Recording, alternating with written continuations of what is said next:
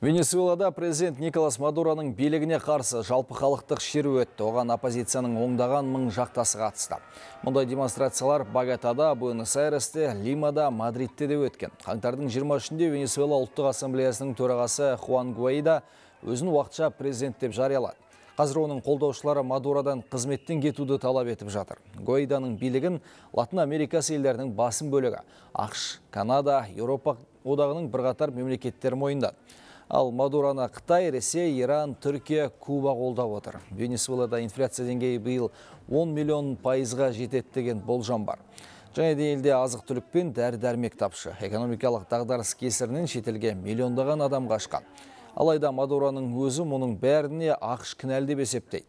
Вашингтон болса, Венесуэладағы жағдайдың мұнша қиындауына социалистік үкіметтің тиімсіз басқару жүйесі себепші деген пікірде.